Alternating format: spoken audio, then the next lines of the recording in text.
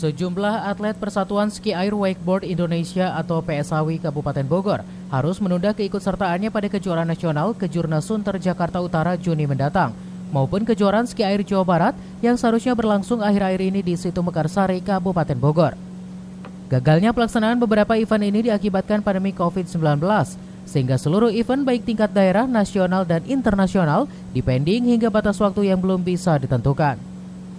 Melalui pesan singkatnya, pengurus cabang Sawi Kabupaten Bogor, Indradi mengatakan ada dua agenda penting yang harusnya bisa diikuti para atlet ski air Bumi Tegar Beriman.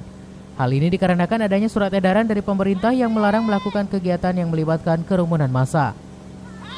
Ia juga menjelaskan gagalnya event tersebut memang berpengaruh pada minimnya prestasi ski air di tahun 2020.